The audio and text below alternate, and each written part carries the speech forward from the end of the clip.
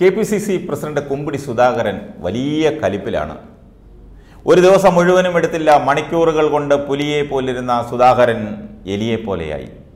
ഒട്ടും പ്രതീക്ഷിക്കാതിരുന്ന സമയത്താണ് ഒറ്റ ഫോൺ കോളിൽ വെള്ളിടി പോലെ തലയ്ക്കടിയേറ്റത്.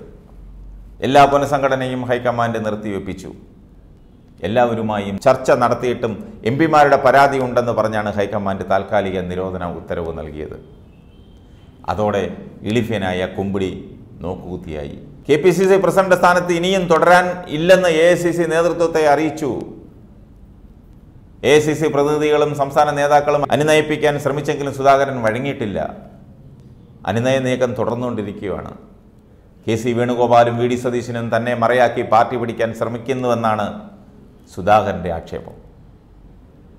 എന്നാൽ എം പിമാർ അടക്കം പരാതികൾ ഉന്നയിച്ചാൽ പരിഹരിക്കാതെ എങ്ങനെ മുന്നോട്ട് പോകുമെന്നാണ് സതീശന്റെ നിലപാട്. ഡി സി സി പുനഃസംഘടനയുടെ അന്തിമ കരട് പട്ടിക തയ്യാറാക്കി കഴിഞ്ഞപ്പോഴാണ് പരാതിയുമായി ഹൈക്കമാൻഡിനെ സമീപിച്ചത്.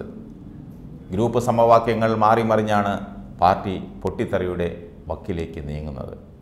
അവസാന ചർച്ച നടത്തി ഹൈക്കമാൻഡ് അനുമതിയോടെ പ്രഖ്യാപനം നടത്താനിരിക്കെയാണ് മുകളിൽ നിന്നും ഇടപെട്ടത്. എം പിമാരെ പങ്കെടുപ്പിച്ചില്ലെന്നാണ് പരാതി.